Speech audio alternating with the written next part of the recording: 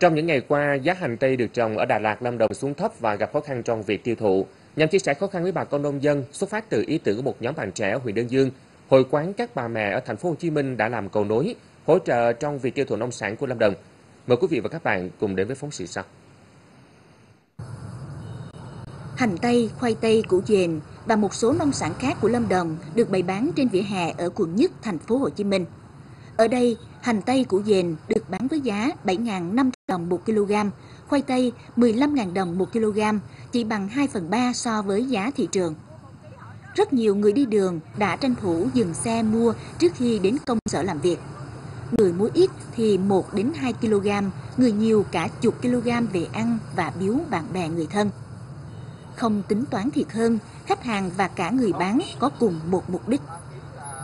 Cũng thường xuyên đi ngang đây thì hôm nay tôi thấy ở đây có bán ờ, ủng hộ hàng ờ, khu vực Đà Lạt thì ờ, tôi ghé tôi ủng hộ cho bà con ở trên. Thấy mọi người mua thì tôi cũng hỏi và tôi cũng ủng hộ mua liền.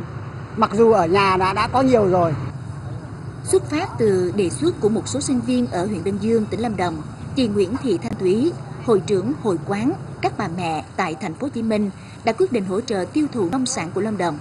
Việc làm này đã được hội quán thực hiện từ ngày 14 tháng 4 năm 2015.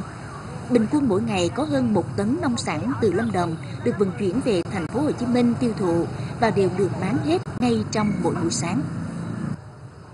Cũng muốn ờ, chính những người ờ, Việt Nam hỗ trợ nhau, nó sẽ là một cái tạo một cái cầu nối để ờ, những người nông dân các bà con của chúng tôi có thể an tâm sản xuất trong hai ngày qua, đã có gần 5 tấn nông sản bị rớt giá của Lâm Đồng được bán tại quận nhất thành phố Hồ Chí Minh. Dù lượng hàng tiêu thụ còn ít so với sản lượng thực tế, nhưng việc hỗ trợ giải quyết đầu ra cho các mặt hàng củ quả trong điều kiện xuống giá như hiện nay cũng phần nào bà con nông dân Lâm Đồng khắc phục khó khăn, yên tâm sản xuất, ổn định cuộc sống.